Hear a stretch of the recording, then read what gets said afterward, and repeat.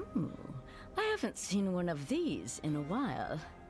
From what I've heard, these require a special acid flux applied to them to allow clean extraction of the gems within.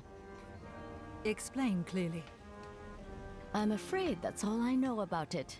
You should seek out Mislan in Zarbinzet to acquire the flux. I am sure he wouldn't mind if you used his bench to apply it, too. The process is quite safe and simple.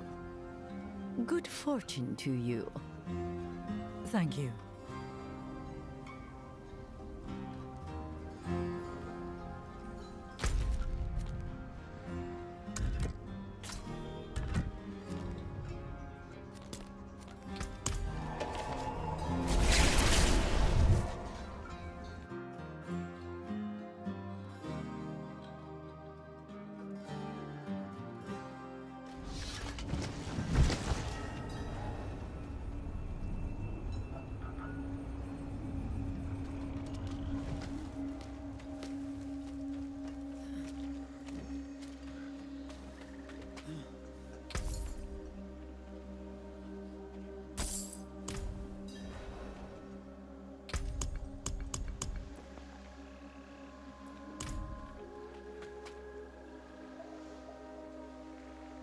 It is done.